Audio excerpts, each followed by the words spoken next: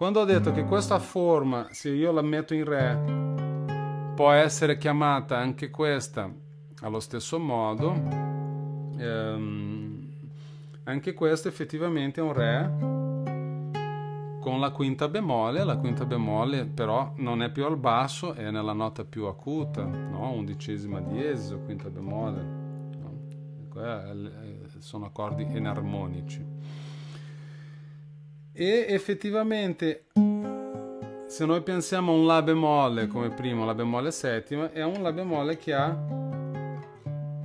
il Re al basso o la undicesima diesis al basso o la quinta bemolle al basso perché sono intervalli enarmonici.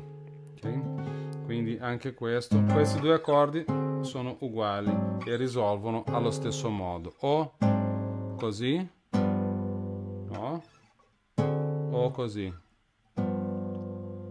Un semitono sotto. Oppure